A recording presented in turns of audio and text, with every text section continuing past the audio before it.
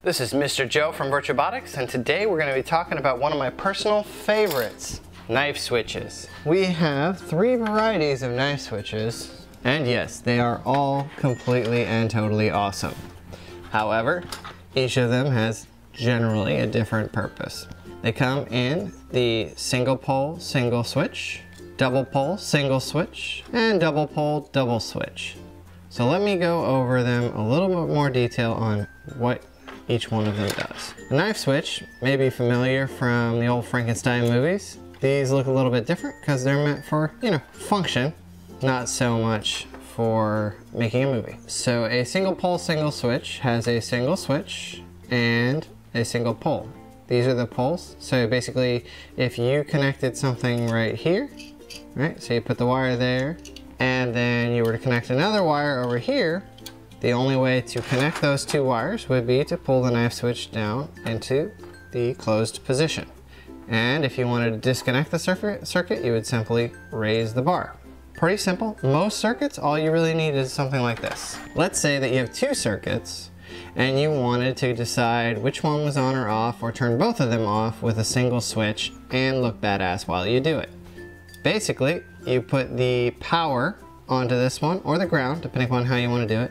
Normally I put the high input on the control circuit and then everything would have a common ground. And if you wanted to turn on the circuit that was connected here, you'd have it in this position.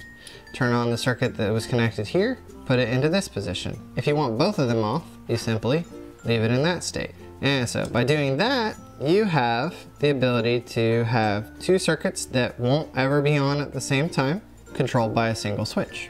Now here's where you can start getting a little bit complicated. And I've had users put 20 of these in line to create basically manual computers of some kind or another. But basically when you have dual pole, dual switch, each of these circuits is its own independent one of these, right? And that means that you can basically do this twice, except the big thing is that when one of these is switched on, the other one is switched on as well. The same with this guy. So this is great for controlling like motor directions and things like that. Basically, you could put high input and low input here, and you could actually connect these to the same outputs and have this one make a motor go in reverse and this one make a motor go forward.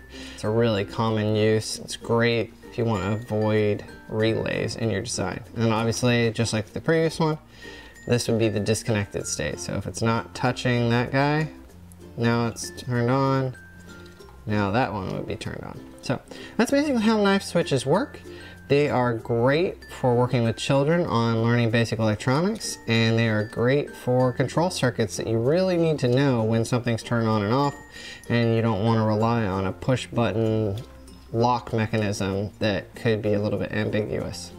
Looking forward to seeing what you guys put together with those and please let me know or uh, post a video in the comments below if you have any questions.